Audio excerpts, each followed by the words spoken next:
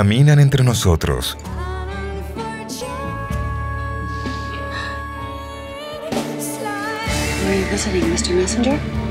Son mensajeros de Dios. Y por supuesto, tienen su base de operaciones en la ciudad de Los Ángeles.